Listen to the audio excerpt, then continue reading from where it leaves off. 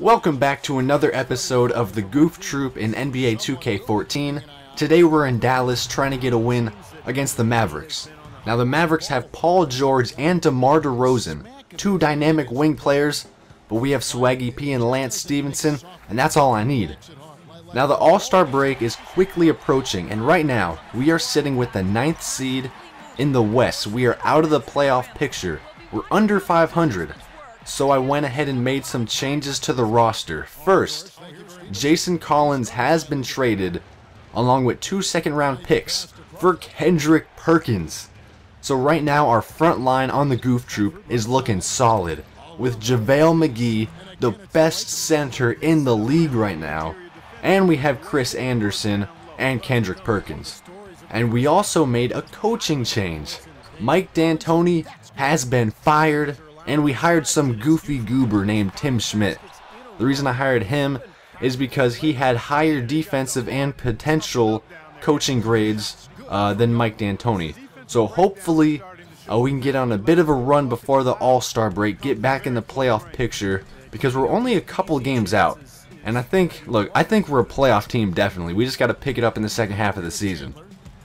It's 37 to 32, 150 to go in the first half, and Nate Robinson almost posterizes Tyson Chandler. And Chandler has a foot on Robinson, and that's being generous.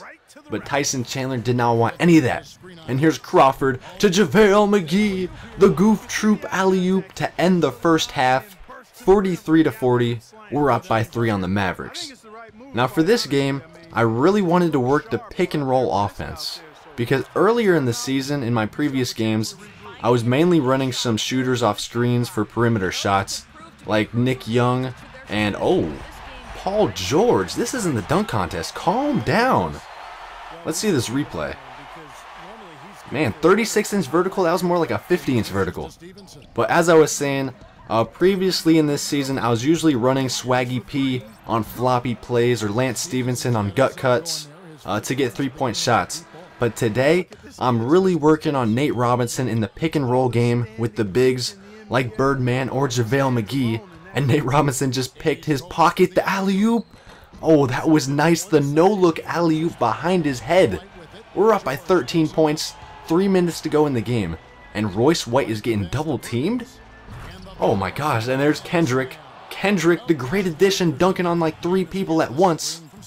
But when I run the pick and rolls with Nate Robinson and the bigs, or maybe a pick and pop with Beasley, the rotation defense uh, from Dallas is so quick, but they uh, they leave a man open usually on the three-point line. So what I do, I run the pick and roll, draw on the defense, and then usually someone like Metta World Peace is wide open in the corner, or DeShawn Stevenson for three. And we're uh, we're up by uh, eight points, 50 seconds to go. Now we got the win, but I'm still feeding Kendrick in the post. He's got to show out in his first game as a member of the squad. And look, Kendrick Perkins is getting double teamed in the post. He's too deadly. Swing it. Swing the ball. There you go. The help defense. It's just not enough from Dallas. We're up by 11. Now this is the last possession of the game. I figure, hey, we got the win. Kendrick, do your thing. Double teamed on the perimeter. Nah, I didn't get the buzzer beater, but we got the win 80 to 71. JaVale McGee 14 points and 3 blocks. Lance Stephenson 11 points. Kendrick Perkins 10 points in 9 minutes. And Nate Robinson had 11 assists, 2 steals, and 4 blocks.